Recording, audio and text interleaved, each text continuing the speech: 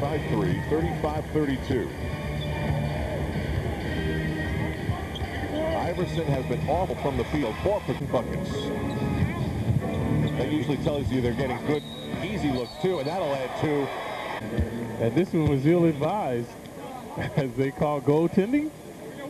Right there, no question about it. Plus Houston now with an opportunity to complete the conventional three-point play.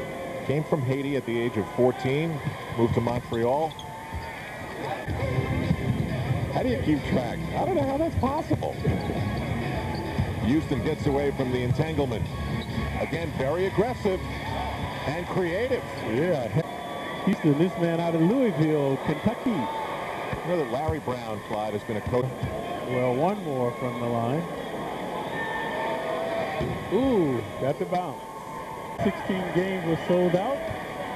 Excellent crowd here tonight, albeit uh, with all the snow on the ground. Houston worked hard for that shot. Can't be way outside. And now Allan Houston begins to percolate. Yeah. All the players, and you can bowl with them. 877 NYK Dunk. All pro proceeds. NYK Dunk.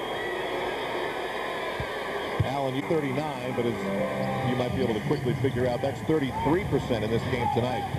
Fourth straight game, Iverson's hit for 30 or more. There's Allan Houston with a three. Language was awful. Houston for three.